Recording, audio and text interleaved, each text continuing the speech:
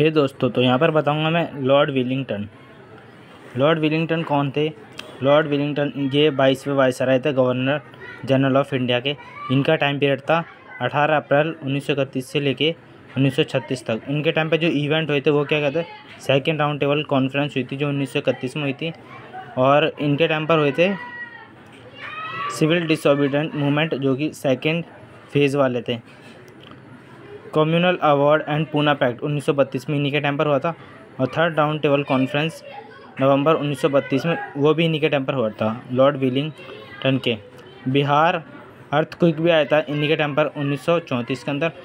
और all India किसान सभा भी बनी थी इन्हीं के टाइम पर, उन्नीस छत्तीस में। ऑल इंडिया किसान सभा के जो कि मेंबर थे, जो फाउंडर थे, इन्होंने बनाई थी। सहाज आनंद सरस्वती, इन्होंने बनाई थी all India Kisan Sabha and thank you guys video अच्छा लगा तो